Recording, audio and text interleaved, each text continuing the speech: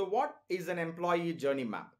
An employee journey map starts with the premise that we put aside all the conventional things that we focus in HR, such as HR policies, providing the right processes to the employee, making sure that he has his job objectives, he is being provided with the right infrastructure and environment.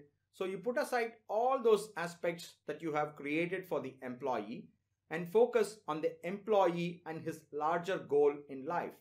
All of us as employees have some larger purpose and we certainly align that purpose to this employment.